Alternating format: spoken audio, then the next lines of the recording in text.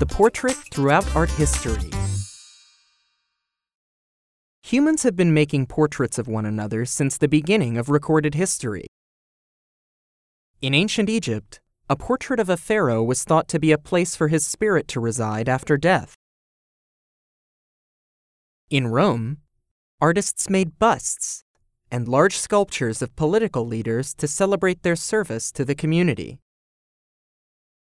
During the Renaissance, artists wanted to learn how to make portraits that were more realistic. Some, like Leonardo da Vinci, studied human anatomy.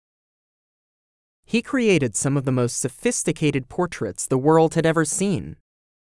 But who were the people in these paintings? It cost a lot of money to hire an artist to paint a portrait, and you needed plenty of free time to sit around having your picture painted. Kings, queens, noblemen, and other leaders chose the clothing they wore in their portraits carefully. Every detail had meaning. For example, this is a rare and expensive breed of dog. It represents the family's wealth. Here, King Henry VIII wears luxurious fur, embroidered fabric, and even jewelry to show his wealth. In this painting, Napoleon Bonaparte, the first emperor of France, leads his army across the Alps. Even though Napoleon is on a long and difficult journey, he wears expensive and impractical clothing. The emperor points into the mountains, leading his troops.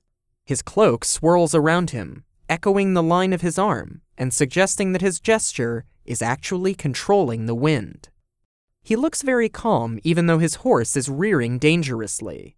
The rider controls his horse, again demonstrating his power over nature. Historians believe that, in reality, Napoleon rode a donkey. to find out how contemporary artist Kehinde Wiley takes historical portraits and turns them on their heads, Open your Scholastic magazine.